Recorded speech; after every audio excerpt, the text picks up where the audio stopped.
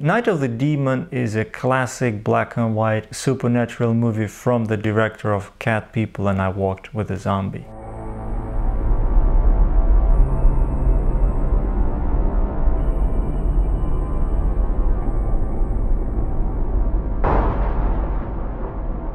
Hey, good to see you again. So, I've chosen another black and white movie for tonight. Actually, I felt like reviewing uh, Cat People or I Walked with a Zombie from director Jacques Tourneur.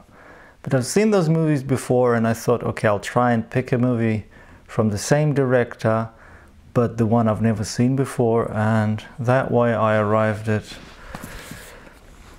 Night of the Demon, a movie I've never heard before. I've seen this uh, picture once, somebody's posted it ages ago, and I thought, well, that was some kind of a black and white uh, Godzilla ripoff.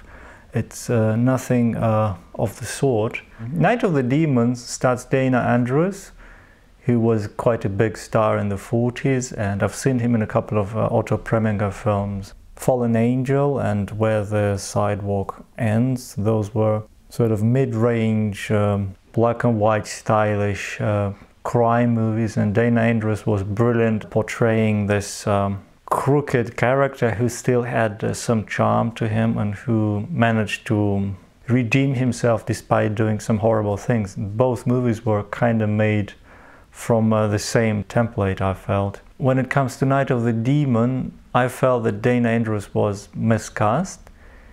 This is uh, a movie from a later period in his career, and he appears a lot less uh, steady on his feet. He looks half drunk half the time his delivery is really indifferent. It looks like he's uh, pretty much sleepwalking through the part. It's not that he's bad, it's just you have the feeling he's completely absent. Also, the character he's been given is a kind of a, um, a scientist, and sadly, Dana Andrews doesn't look that studious. He kind of looks more like a hoodlum or or a gangster, something like that. And his delivery is also very, he doesn't project any sort of academic quality, which makes him a bit unconvincing. He's also quite arrogant. In the film, he tends to march through the film in this um, self um, righteous way. And he's uh, the, the main conflict of, of the movie is he's this American um, scientist who arrives in, in the UK and he doesn't believe in the existence of this demon who we see right up front in the movie in the first scene. It's him coming to terms with this horrifying reality of the existence of supernatural forces. This is the rough conflict of the movie.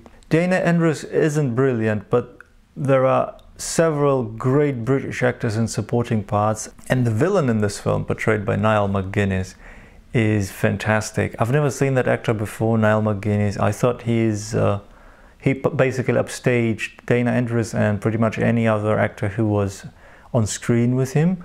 Night of the Demon has struck me as the most visually stunning Jacques Tourneur film I've seen so far. I thought it was more beautiful than Cat People and I Walked with a Zombie.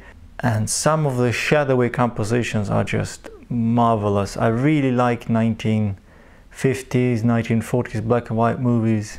I watched quite a lot of them, and this one has really struck me as um, as an outstanding example of that craft of uh, beautiful black and white uh, filmmaking. The film also has excellent sense of pacing. Night of the Demon flies by.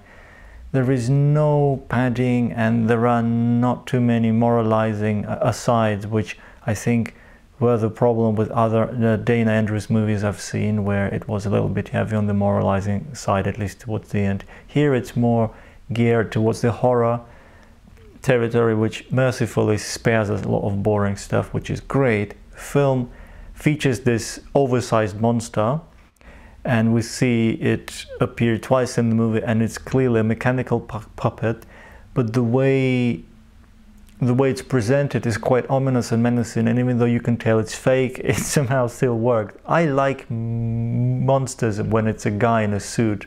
Yeah you know it's a guy in a suit but at least the thing is there. At least it's not some cgi thing which you know is you also know it's not real but it's not even there. So there's that's the big difference for me personally. Night of the demon has lots of beautiful locations. It's shot around uh, england. They, they feature stonehenge there is this uh, beautiful uh, there in the British Museum in the library wing. Some of my favorite scenes in movies are train scenes, disco dancing scenes, and library scenes. And Night of the Demon has two of those. There is an awesome library scene when they're when the protagonist encounters the, the, the, bad guy for the first time, and then there is a great train scene towards the end.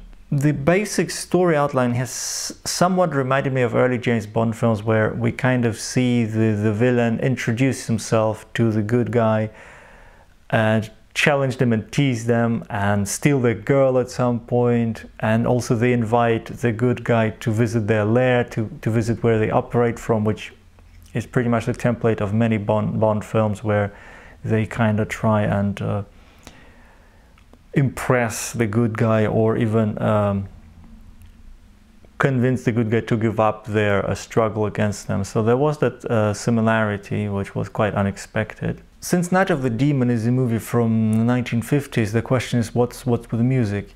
Yes, it has that orchestral score which was quite typical for those uh, days but it's one of the less annoying ones. I, I would say 80% of the music was really good. It only got on my nerves maybe just once. And that's a question of taste. Maybe there are people who really like those kind of bombastic orchestral uh, moments which are supposed to like heighten tension. Some of it is really manipulative, but for the most part, I, I didn't have a problem with the score. I think 1950s movies can be difficult for younger audiences because even if you can get over the fashions and sexism and many other aspects which uh, really mark the film as a product of its time. Music, use of music, abusive overuse of certain orchestrations can really, really hurt all the movies. You know, there are on Blu-rays there is that option isolated music track sometimes. I wonder why don't they off offer an option movie with sound effects but without the music because that way I could have appreciated some of early Hitchcock films much more where I just don't like the music everything else is fine I just really intensely dislike the music. Back to Night of the Demon. There are two versions of this film. Apparently in the States the movie was recut and they hacked a few minutes out of it and called it Curse of the Demon. Now I'd be curious to uh, watch that recut version. I really had my fun with Night of the Demon and I think I'll be revisiting it very soon. I know there is a beautiful Blu-ray from Indicator out there, so I'd be tempted to get myself a copy. So that was day 24 of uh, 31 Days of Horror. Night of the Demon, a Jacques Tourneur film with Dana Andrews. Thanks for watching.